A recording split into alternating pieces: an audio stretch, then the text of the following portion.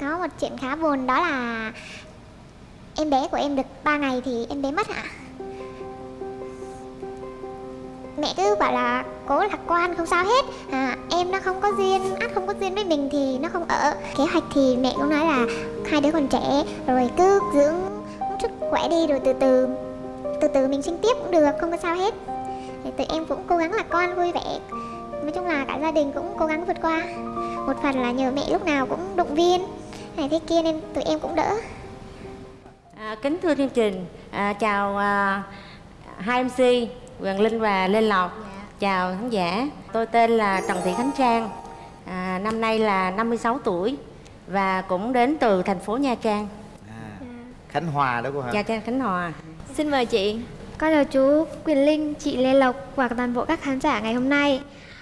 Em tên là Nguyễn Thị Quỳnh, năm nay em 21 tuổi. Dạ, công việc của em cũng là kinh doanh cùng mẹ và em đã làm dâu của mẹ một năm 9 ngày rồi ạ. cái ngày đầu tiên mà cô gặp con dâu ờ, còn quá trẻ này đó thì cô ấn tượng điều gì Nói đúng ra cô dâu này quá trẻ. Thì khi mà đi chùa á, thì cũng đã gặp rồi. Xong mà cách một thời gian thì con trai á, nó nói là mẹ con có bạn rồi. Xong rồi nói là bạn hôm bữa đi chùa gặp mẹ á. Xong rồi nói thôi không được. Nhỏ lắm. Mấy đứa con là còn học mà bạn con cũng còn học. Xong rồi con trai nói nó xin phép quá. Xong rồi nói thôi được rồi. À, cứ dẫn về đây mẹ coi. Cái gì về. Nói trời ơi bữa thấy sơ sơ thôi bây giờ thấy nhỏ con quá con trai á, của của ờ, tôi á là 70 ờ, cân nặng á là 90 kg mà một mét bảy À. mà nhìn con dâu nhỏ quá. Xong rồi thấy thôi cứ con cứ vô nhà đi tụi con vô nhà ăn cơm ăn nước rồi đi. Thấy dâu mặt cũng ờ, phúc hậu lùng lùng mà mập mập cũng giống mẹ. Mà ai cũng nói sao thấy con bé nó tới chơi sao giống giống bà như là là là là, là con bà chứ đâu phải là ai nói là là bạn gì của nó sao tôi giống không biết mới tới chơi mà sao tôi thấy giống bà xong rồi cái lúc đó nói thôi thấy cũng cũng có cảm tình. Nhờ giống bà có tâm tình. Còn em, ờ, em khi mà lần đầu tiên gặp mẹ em có cảm giác gì không? Ấn tượng coi như là đầu tiên đó là lúc chồng em dẫn em về nhà ăn cơm. Em vào nhà em cũng ngại lắm do là ba và chị á rất là điềm tĩnh và ít nói. Nhưng mà ngược lại thì mẹ thì rất là vui tính Mẹ rất là xì tin, mẹ mặc váy hai giây Mẹ nói chuyện rất là niềm nở nên em cũng đỡ lo và lại thấy thoải mái hơn ạ sau đó về làm dâu thì thấy mẹ khó không? Không khó tí nào hết luôn á. Còn dễ hơn ở nhà nhà nhà trà đẻ nữa em nấu ăn dở. Nấu ăn dở hả? nấu ăn dở mà mẹ thì nấu rất là ngon. Mẹ cũng chả bao giờ là bắt con phải học. Mẹ chỉ cần là thôi con nấu để mẹ nấu cho. Xong chỉ cần đứng bên xem mẹ thôi. Nhưng mà bữa nào mà em nấu á thì mẹ sẽ nói với cả gia đình là hôm nay bé nấu á nha. Cả nhà ăn rất là nhiều và cố ăn hết. Tấm tét khen ngon luôn mà em biết là em nấu dở hơn mẹ nhiều. Tại lệnh của mẹ đó. Rồi, hai mẹ con có hợp nhau điều gì không cô. Thật sự là hai mẹ con cũng có ờ, hợp thì nhiều hơn là không hợp. Shopping hoặc là ờ, đi có một cái thì nhà ở gần biển á là lúc đó là cô dâu về là có bầu liền. Xong rồi cái đi tắm biển mấy tháng lúc mà 5 tháng 6 tháng á xong rồi mới nói thôi con đi tắm biển đi lúc đó là bầu lùng á cho nên cái bầu mất cái mấy tháng mà nó bự lắm. Xong rồi cái nói thôi con đi đi. Vậy á mà cái đi miết cho đến khi gần sinh cũng đi luôn. Mà nói mẹ con chỉ thích mặc bikini à. Bầu bự vậy mà mà mặc bikini luôn. Cô sao mặc không cô mặc luôn. Xong rồi cái nói là con á là con ba một tam một trăm ký. Là mẹ biết còn một phao thôi. Mà con dâu nói không mẹ ơi sao một phao con chìm? Con chìm mà cứ sợ à. Nó mẹ, mẹ bực bội quá mẹ nói con cứ bơi thử. Cũng không cho nên là làm hai phao luôn. Chơi hai phao một lúc luôn ai cũng nhìn hết vừa bụng bầu bự mà chơi một lúc hai phao luôn. Trời ơi xuống biển hả ai hết đúng 6 giờ là ai cũng nhìn hai mẹ con bà bầu sắp xuống à. Có một cái là không có gọn gàng. Trong cái phòng á coi như là hai vợ chồng. Cứ mẹ vô nói mẹ sáng nay á, là mẹ được nghỉ. Mẹ quét trong phòng con á nhiều rác này á nha nhiều rác lắm á vậy mà cũng bữa sau rồi cũng không có sửa đổi hai đứa còn nhỏ quá. Có một cái á, là nấu ăn á thì mấy bữa về nói á thì thì thì sửa sửa đổi nấu ngon. Còn cái à, dọn dẹp nhà cửa thì sự ra là cũng đang à, còn nhỏ quá. Rồi nghĩ thôi nghĩ cũng như con mình vậy thôi à. Chứ giờ thôi con nó dọn mình mở cửa mình vô mình, mình dọn sạch sẽ rồi về nói rồi rồi đó. Bữa nay nhìn thấy nhà cửa sạch không xong rồi nói ờ, có cô tiên nào vô đó nha. Nói, cô tiên mẹ chứ cô tiên nào? Rồi việc chăm sóc em bé ở nhà hai mẹ con mình có hợp không em? Thực chất thì mẹ chăm em rất là kỹ. Có một chuyện khá buồn đó là Em bé của em được 3 ngày thì em bé mất ạ. Mẹ cứ bảo là cố lạc quan không sao hết. À, Em nó không có duyên, ắt không có duyên với mình thì nó không ở. Kế hoạch thì mẹ cũng nói là hai đứa còn trẻ Rồi cứ dưỡng sức khỏe đi rồi từ từ từ từ mình sinh tiếp cũng được không có sao hết. Thì tụi em cũng cố gắng lạc quan vui vẻ. Nói chung là cả gia đình cũng cố gắng vượt qua. Một phần là nhờ mẹ lúc nào cũng động viên này thế kia nên tụi em cũng đỡ. Xin chia sẻ nỗi buồn đến với gia đình ha. À, hai mẹ con có gì vui trong gia đình nào? Kể nghe. Vui ạ. Ừ. vui đó là vui thì nhiều lắm. Có một câu chuyện đó là bữa đó gia đình rất là thích xem đá banh. Xong à, lúc đó bụng bầu con cũng to rồi. Xong cả nhà đi xem đá banh. Lúc đó đường rất là đông mà chồng lái xe chồng lái xe xong có cái khúc mà chuẩn bị vào thì xe đông quá nên mẹ và chồng cũng có nói qua nói lại. Đi vào trong sân banh ấy, thì chồng dắt tay dắt tay con vậy xong mẹ đang giận chồng xong mẹ rắc tay mẹ kéo qua lại xong mẹ kêu đi qua bên này con đừng có đi với nó xong chồng mẹ rắc lại xong kêu là vợ con chứ vợ mẹ à? rất là nhiều vui. Xong rồi lúc có thai lớn đi vào bảo đi vào Sài Gòn khám. Xong kêu là thôi à, con con mẹ mới nói với chồng là con ở nhà làm đi để mẹ đưa bé đi. Xong chồng lại kêu là cho con đi nữa. Xong mẹ lại cũng kêu là không được bây giờ con đi á. Thì ai ở nhà làm?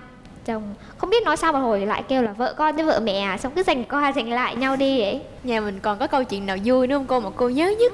Thì bé là người ở trên gia lai. Dạ. Thì ở ở nhà thì ủng hộ cho đội của Katoco Khánh Hòa. Dạ. Thì hai bên hả mấy lần mà gia lai mà hoàng anh gia lai vô á là bé này nó la.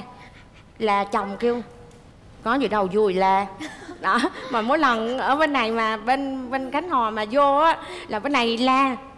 Nói gì đâu, vui la. Rồi thứ hai mình cứ như vậy. Thật sự ra á, là bé này á, là có một cái, hai vợ chồng còn nhỏ quá.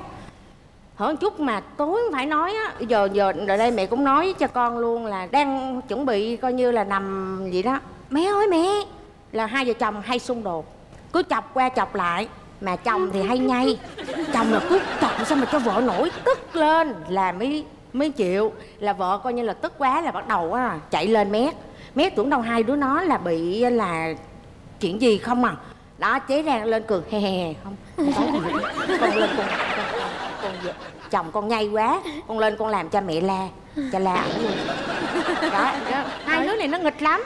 Có Đó. nhiều lúc xong hai vợ chồng vậy em đánh chồng kêu tét tét thiệt to đánh thiệt mạnh lên. Xong em vừa đánh em vừa kêu mẹ ơi mon đánh con mẹ ơi mon đánh con. Xong mẹ nghe đánh xong mẹ chạy qua mẹ mở cửa ra xong mẹ la chồng xối xả. Nhưng mà mẹ không biết là em đánh chồng em rồi em kêu là mẹ ơi mon đánh con. Mình có hay à, làm những món quà bất ngờ dành cho mẹ không?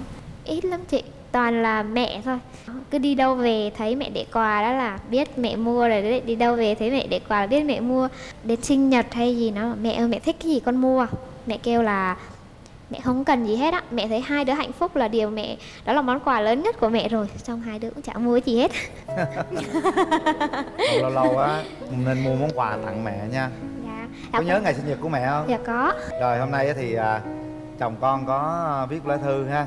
Đây chú lên đâu chú là người đưa thư mà. Xin chào chương trình mẹ chồng nàng dâu. Mình tên là minh hoàng con trai của mẹ khánh trang và chồng của quỳnh. À, giới thiệu gọn ha. Vợ chồng mình từ khi lấy nhau đã sống chung với mẹ bởi vì hai vợ chồng còn quá trẻ nên sống với mẹ để mẹ kèm cặp chỉ bảo thậm chí chỉ từng ly từng tí cho vợ trong quá trình chung sống, dĩ nhiên cũng phải có lúc mẹ con, vợ chồng xảy ra mâu thuẫn. Ví dụ như vợ rất thích nuôi chó, nhưng mẹ thì không muốn vì sợ sáng chó ảnh hưởng đến sức khỏe của vợ. Nhất là vợ vừa sinh không bao lâu, sức khỏe, sức đề kháng còn yếu. Mình đứng giữa cũng khó xử, nhưng vợ chồng vẫn quyết định làm theo lời mẹ để mẹ vui và vợ cũng không phàn nàn gì. Sau đó thì vợ hiểu mẹ vì lo cho vợ.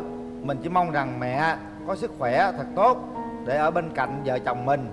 Về vợ, cũng mong vợ ăn uống bồi bổ, có sức khỏe. Và sinh cho mình một em bé, cho mẹ một đứa cháu nội. Mình cảm ơn chương trình mẹ chồng nàng dâu, một chương trình mà mình nghĩ rất nhân văn và giàu tình người. Hôm nay rất vui thấy mẹ cùng với vợ tham gia chương trình con của mẹ, chồng của em, minh hoàng.